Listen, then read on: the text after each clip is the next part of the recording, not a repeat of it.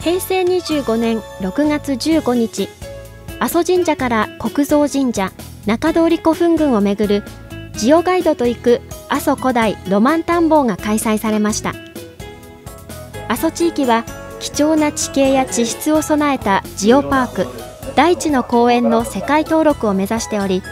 ジオガイドのスキルアップと一般の方に阿蘇ジオパークの素晴らしさを知ってもらおうと今回のツアーが企画されました。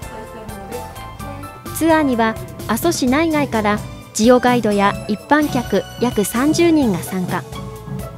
インフォメーションセンターの吉田さんとともに阿蘇神社を訪れ楼門前では阿蘇カルデラや阿蘇神社の成り立ちの説明がありました。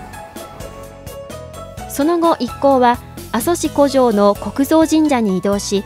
そこでは神職から恩田祭りの説明や昨年の豪雨災害で被害を受けた社務所の話がありました。また国蔵神社には平成3年の台風で倒木した手野の大杉が保存されておりその大きさに参加者たちは驚いていました。その後手野にある上のオクラ古墳では考古学者の島津先生の説明を受け小蘭山ではジオガイドが入れ替わりでガイドの演習を行いました。